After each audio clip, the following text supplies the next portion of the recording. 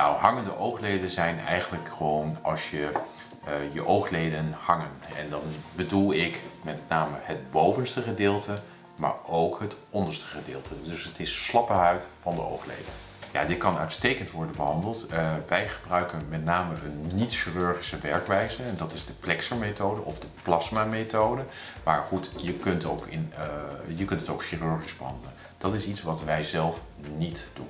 Het overmatige vel wat uh, ervoor zorgt dat je hangende oogleden uh, veroorzaakt, kan meestal met de plexer-methode in één behandeling met ongeveer 70% verminderd worden. Dat is voor de meeste mensen meer dan voldoende. Er zit een groot voordeel aan, dus dat dit uh, met dit percentage betekent dat je nooit te veel weghaalt, wat wel eens bij een plastische chirurgie plaats kan vinden. Nou, de, de tevredenheid over de niet-chirurgische methode is heel erg hoog. Ik heb ongeveer 95% tot 97% tevredenheid over de oogleden.